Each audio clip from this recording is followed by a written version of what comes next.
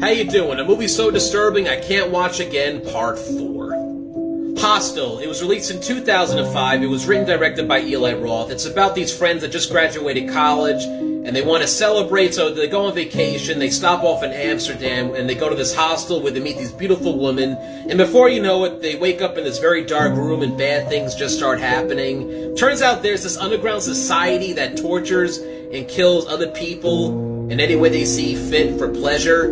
It's pretty sick, very bloody, very gory, very graphic. I don't like watching anything torture. I don't like watching people slowly and painfully die.